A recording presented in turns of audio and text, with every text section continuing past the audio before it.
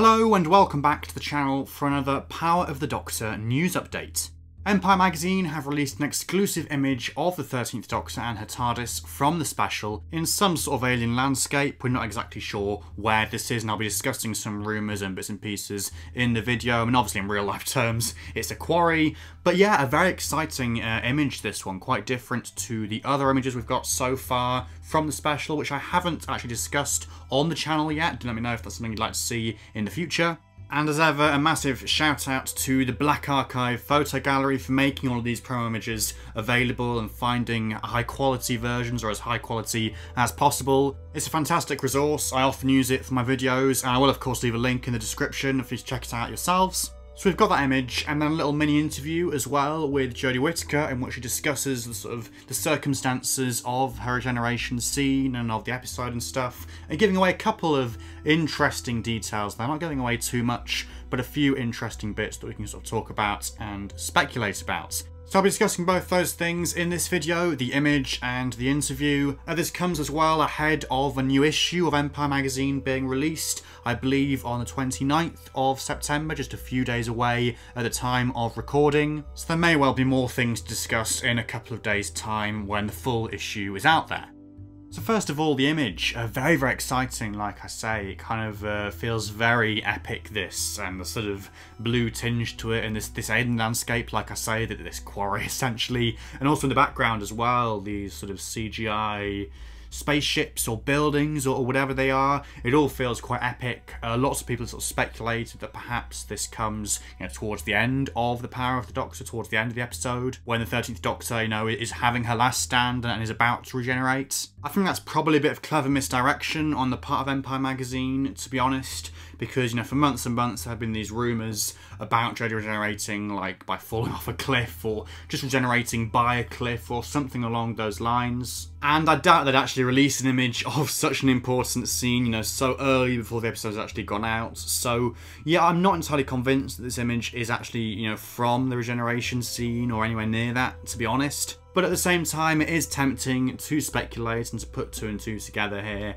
and uh, yeah, whatever the case, it certainly looks like a very interesting scene, a very epic scene, like I say. You've got to wonder where Yaz and Dan are at this point in proceedings as well. You know, are they in this scene because they're not in the photo? Maybe they're just off camera somewhere, or maybe, you know, this does take place later in the episode once they've been left at home, and left behind and also you know who the Doctor is going up against here because she certainly seems to be going up against some sort of adversary, some sort of enemy, you know whether that's the Master or the Cybermen or the Daleks or something else entirely. I mean it has been suggested by one or two people that this location looks quite similar to the Burnished Rage battleground at the place in the Halloween Apocalypse where Swarm was locked up, that division prison planet place. And you can certainly see a resemblance there, you know, it's a quarry, it's blue, it's dark, and it's definitely something I'd like to see them, them actually do, you know, to have the Doctor return to that significant location, you know, from Flux and from this whole story arc, you know, with Swarm and the Timeless Child and all, all this sort of stuff. It would be quite epic to see her actually return to that place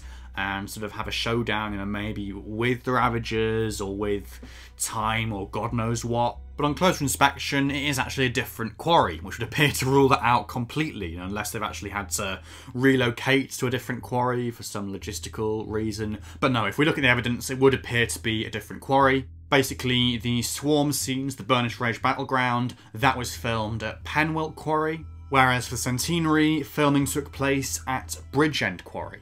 And we know this because there was an image that leaked of Mandip Gill and Jodie Whittaker a by the TARDIS prop, actually, funnily enough, at this quarry from when the filming took place.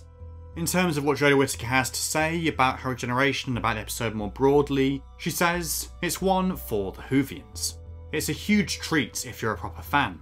It's got all the iconic things that you associate with Doctor Who. It's massive. She goes on to say, I love the dialogue Chris wrote for my regeneration. It captures my Doctor beautifully. It's simple, epic, and beautiful. The interview also reveals that the scene was delivered in one long take, which is quite a substantial detail really, because we don't really know much about the regeneration itself or about the scene or anything. You know, we've had hints and snippets and stuff, like hints that it might not take place inside the TARDIS this time, But yeah, that, that's quite exciting. Quite, uh, it, it, makes it quite real to actually hear them talk about the scene like this. Know, after all these months of secrecy and all this stuff we still really don't know about, it kind of brings it into focus a bit more. And I think certainly it's going to be a very impressive scene, impressive regeneration, you know, if it is all done in one shot, in one take. You know, from a technical standpoint, that's going to be really interesting to see and hopefully really visually exciting as well.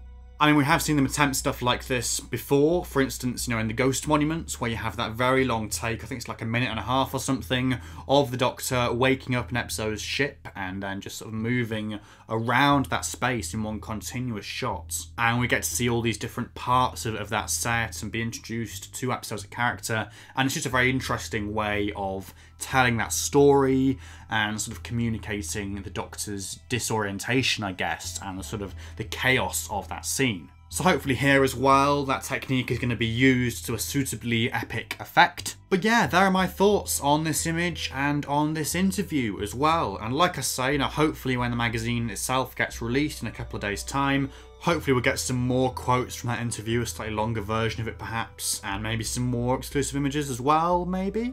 And speaking more generally as well, surely a full trailer can't be that long away at this point. I mean, the episode itself is like less than a month away now, so hopefully things are going to start stepping up a gear sooner rather than later. And of course, as soon as a trailer is released, I'll be covering it on the channel, so do stay tuned for that. If you have enjoyed this video, please do leave a like and also subscribe to the channel if you're new so you don't miss out on future videos. And if you fancy supporting me on Patreon, you can find the link to my Patreon page in the video description. But otherwise, thank you so much for watching, and goodbye for now.